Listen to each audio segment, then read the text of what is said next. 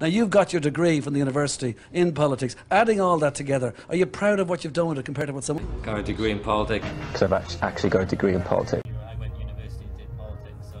get a degree in politics, so... Um... For a man with a degree, this is so complicated. I, luckily, I did a degree in politics, so yeah, just to kind of dump that and pretend that it never existed, really. It seems, it seems that you're a little bit less...